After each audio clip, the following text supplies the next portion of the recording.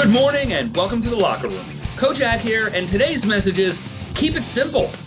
Today is a fun and easy message. You know, doing messages for feels like a long time now, I sometimes see the world and all of the experiences it offers as a chance for learning something. Recently, I was on a college visit with Little Ack. Yes, the Little Ack, who is now taller than I am.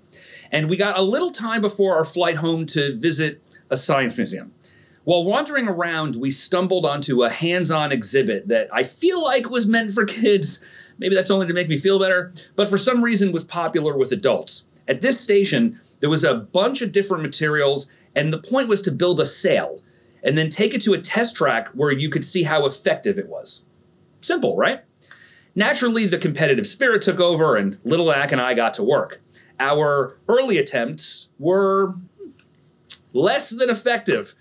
It was a little deflating seeing our creations stalled out despite the air being blown down the track. As I watched Little Ack try multiple times to figure it out, I realized a basic challenge he was facing. He was overthinking the problem. We had access to all kinds of materials, and he seemed hell bent on using all of them at the same time to create the most over engineered sail ever produced. That gave me an idea. I started to deconstruct the sail that I was making then made the frame as light and simple as I could. I was shocked because science is not this guy's thing, that it actually worked pretty well, and I got the test sailboat to fly down the track. I catch myself in this kind of situation more than I'd like to admit, and I think we all deal with this.